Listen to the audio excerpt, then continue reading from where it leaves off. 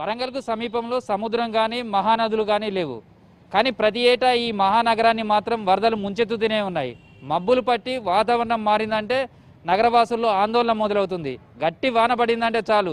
తమ కాలనీలు ఎక్కడ మునిగిపోతాయో అనే ఆందోళన కూడా ఇక్కడ వ్యక్తమవుతుంది. ప్రతి ఏటా కోట్లాది రూపాయలు ఖర్చు పెడుతున్న ఈ వరదల ముంపు వరంగల్ను ఎందుకు వెంటాడుతుందో తెలుసుకునే ప్రయత్నమే ఈరోజు గ్రౌండ్ రిపోర్ట్.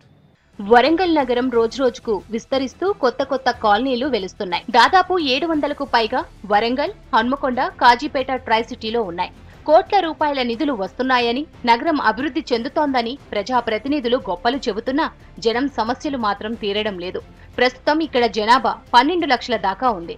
కాకతీయుల రాజధానిగా తెలంగాణ తొలి మలి ఉద్యమాలకు కేరాఫ్ అంటూ వరంగల్కు ఘన చరిత్ర ఉంది. కానీ ఇప్పుడు అలాంటి నగరం చిన్న వానకే వణికిపోతోంది. ప్రతి ఏడాది వర్షాకాలం వస్తే జనం భయంగా గడపాల్సి వస్తోంది. ఈ మధ్య తెల్లవారుజామున చిన్నగా మొదలైన మూడు గంటల పాటు భారీ వర్షం కురిసింది. డ్రైనేజీలు పొంగిపోర్లాయి. కొన్ని కాలనీల్లో ఇళ్ళలోకి నీళ్ళొచ్చాయి. జనం నిద్ర నుంచి లేచేసరికి రోడ్లన్నీ చెరువుల్లా మారాయి.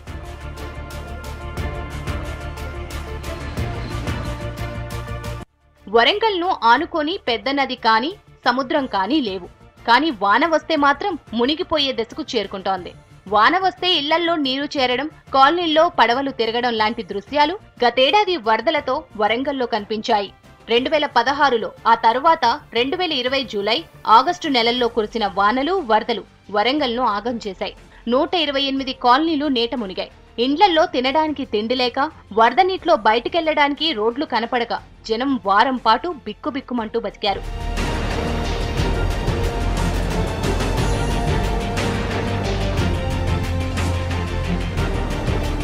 Warangal underground drainage system కలగానే మిగిలింది. మూడు లక్షల జనాభాకు తగ్గట్టుగా ఏర్పాటు చేసిన డ్రైనేజ్ వ్యవస్థ ఉంది. పెరుగుతున్న జనాభాకు తగ్గట్టుగా కాల్వలు లేకపోవడం సరైన ప్లాన్ లేకుండా నిర్మాణాలు జరగకపోవడంతో చిన్నపాటి వాన పడితేనే నగరంలోని రోడ్లు చెరువులుగా మారాయి. లాస్ట్ ఇయర్ భారీ వరదల నేపథ్యంలో మంత్రి కేటీఆర్ పర్యటన సందర్భంలో కూడా అక్రమ కట్టడాలన్నీ నిర్మించాలి నాలాలన్నీ కూడా వంద అడుగులకు విస్తరించాలి రిటర్నింగ్ వాల్స్ అన్ని కూడా నిర్మించాలంటూ కూడా ఆయన అధికారులను ఆదేశించారు. ఈ పనులైతే అప్పుడు హడావుడిగా మొదలయ్యాయి. కానీ ఆ తర్వాత వాటిని గాలికి వదిలేశారు. ప్రస్తుతం మళ్ళీ వానాకాలం రావడంతో వరదల ముంపు ఇప్పుడు వరంగల్కు పొంచి ఉన్నది. రెండు వేల పదహారులో వరంగల్ మున్సిపాలిటీ నుంచి గ్రేటర్ కార్పొరేషన్గా మారింది. కానీ అందుకు తగ్గట్టుగా అభివృద్ధి జరగడం లేదు. తాగునీటి పైప్ లైన్ల నుంచి నాలాలు డ్రైనేజ్లు పురాతనమైనవే. ప్రస్తుతం ఉన్న డ్రైనేజ్ వ్యవస్థ పెద్ద వర్షానికి సరిపడా నిర్మించింది కాదు. సిటీ విస్తరిస్తున్నట్లుగాని వర్షం పడితే ఈజీగా బయటకు వెళ్ళేలా డ్రైనేజ్లను మార్చాలి. నగరంలోని మురికి వరద నీరు బయటకు వెళ్ళే ప్రధాన నాలాలు కబ్జా అయ్యాయి. నాలాలు కుదించుకుపోవడం పూడికితీత లేకపోవడంతో చిన్న వర్షానికే మునుగుతున్నాయి. నాలాల ఆక్రమణల వల్లే సిటీ మునిగిందని గతేడాది వరదలప్పుడు తేల్చారు. పదిహేను రోజుల్లో అక్రమ కట్టడాలు తొలగించి రిటైనింగ్ వాల్ నిర్మించాలని ఆ సమయంలో వరంగల్లో పర్యటించిన మున్సిపల్ శాఖ మంత్రి కేటీఆర్ ఆర్డర్ వేశారు. అర్బన్ కలెక్టర్ రాజీవ్ గాంధీ హనుమంతు చైర్మన్గా టాస్క్ ఫోర్స్ టీం ఏర్పాటు చేశారు. పొలిటికల్ ప్రెషర్ ఉండదని కూడా మాటిచ్చారు. పరిశీలన మార్కింగ్ నోటీసులు కూల్చివేతలకు దసరా పండుగ గడువు పెట్టారు. ఈ నాళాలు చేయబట్టే మాకు ఇబ్బంది వస్తుంది.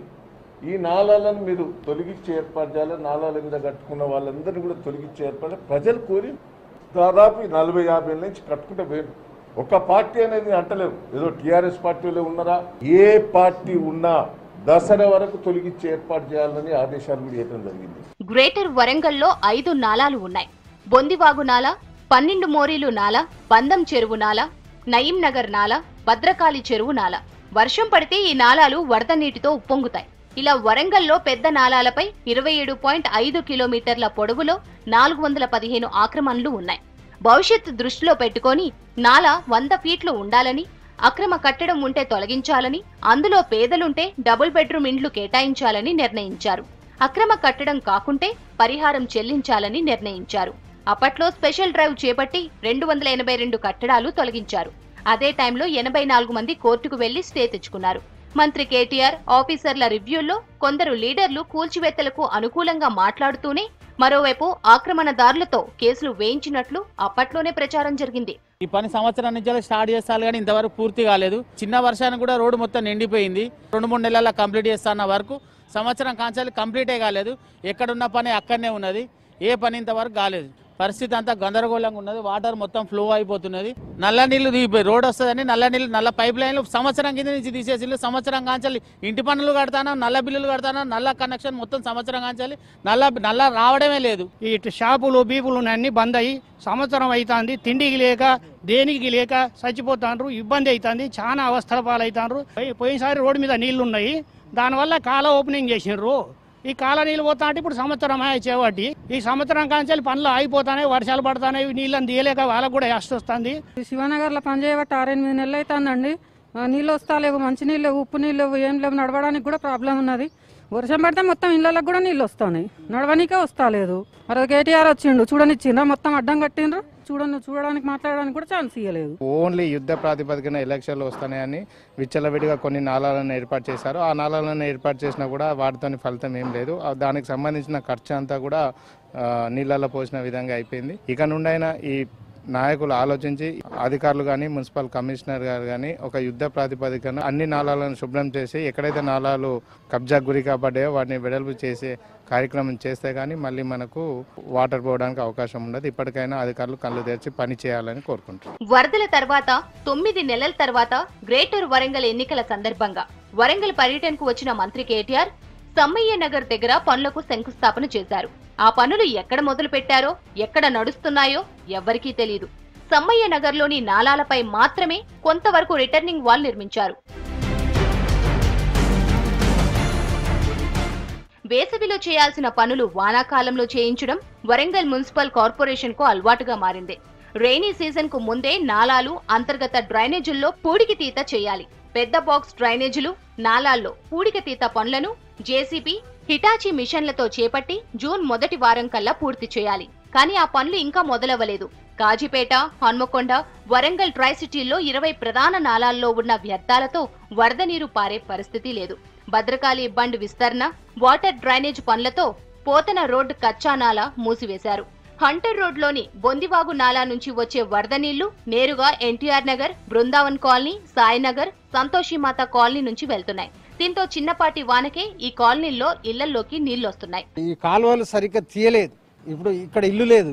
ఇల్లు లేకుంటే ఇక్కడ ఇడిచిపెట్టారు ఇక్కడ ఇడిచిపెట్టడం వల్ల వాటర్ అంతా వచ్చి దీనిలో పడిపోయింది. ఇప్పుడు స్టోరేజ్ అయింది. ఇప్పుడు ఈ జనాలంతా కూడా మొత్తం రాత్రి వచ్చినట్లు ఏంటంటే మొత్తం దోమలే ఇళ్ళల్లో మొత్తం దోమలే. దాని లోపల ఉన్నంత మట్టి అంతా తీసుడు లేదు. పై పైన తీసుడు అక్కడ పెట్టుడు. వరదలు రావడానికి చెరువులు ఆక్రమించుకోవడమే ప్రధాన కారణం. ఆ ఒక్కసారి మాత్రమే కాలువ సగం వరకే ఒకవైపే చేశారు. రెండు వైపులా శుభ్రం చేయలేదు. దాని మూలంగా విషపూరితమైనటువంటి క్రిమి కీటకాలు పాములు ఇళ్ళలోకి వస్తున్నాయి. వరదలప్పుడు చాలా అయితే చాలా ఘోరమైనటువంటి పరిస్థితులు ఉన్నాయి సార్. గత సంవత్సరమే మరి కేటీఆర్ గారు విజిట్ చేసినప్పుడు నాలాల ఆక్రమణను తొలగించాలని అన్నప్పుడు ప్రతి నాలను ఒక వంద ఫీట్ల విస్తరణ ఉండాలి వంద ఫీట్లకు మార్కింగ్ చేసి వదిలిపెట్టారు.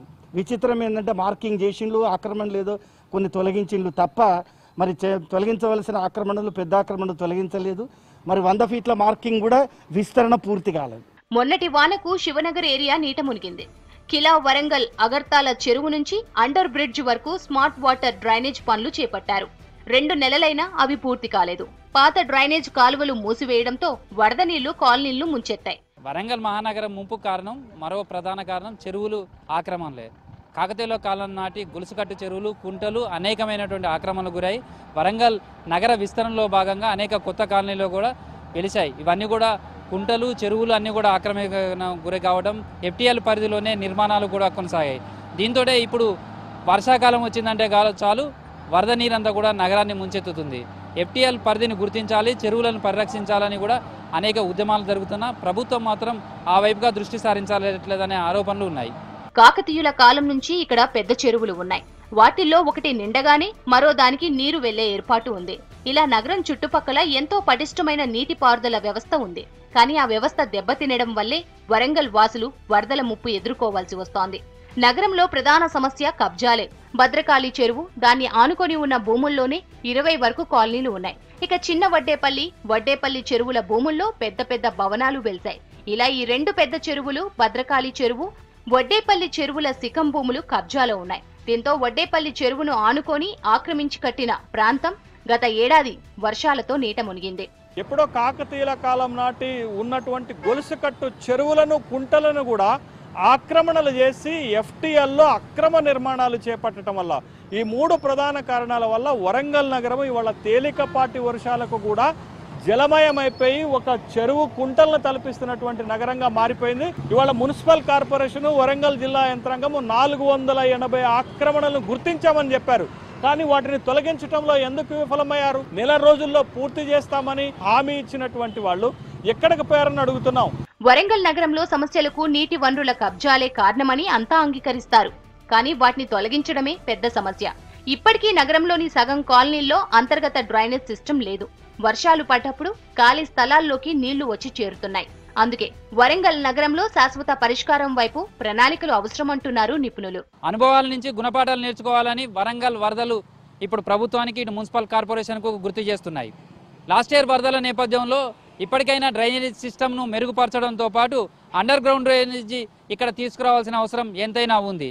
ఆ వైపుగా ప్రభుత్వం దృష్టి సారించకపోతే మాత్రం భవిష్యత్తులో చిరుకు పడితే చాలు వరదలకు ముంపు గురయ్యే నగరాల జాబితాలో వరంగల్ కూడా చేరే అవకాశం ఉంది. వీడియో జర్నలిస్ట్ క్రాంతి కుమార్తో Krishnamohan V six news Warangal.